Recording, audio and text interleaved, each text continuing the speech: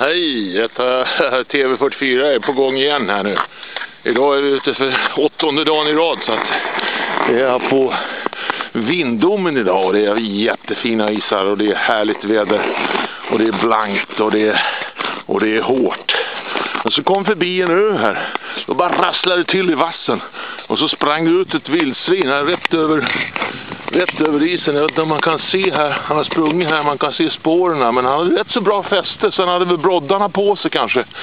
Men han pinnade över här men jag var för osnabb så jag, jag fick inte upp kameran. Men här sprang han in i alla fall. Om man ser spåren här så dunkade han i stenarna här och lite landlös och så försvann han upp i skogen där. Ja du, så här kan det vara när man är ute i naturen. Men det var lite spännande att se den stora galten knata över det några hundra meter framför oss. Som sagt, jag var för osnabb med, med, med, med kameran, men jag ska bättra mig på det. Så.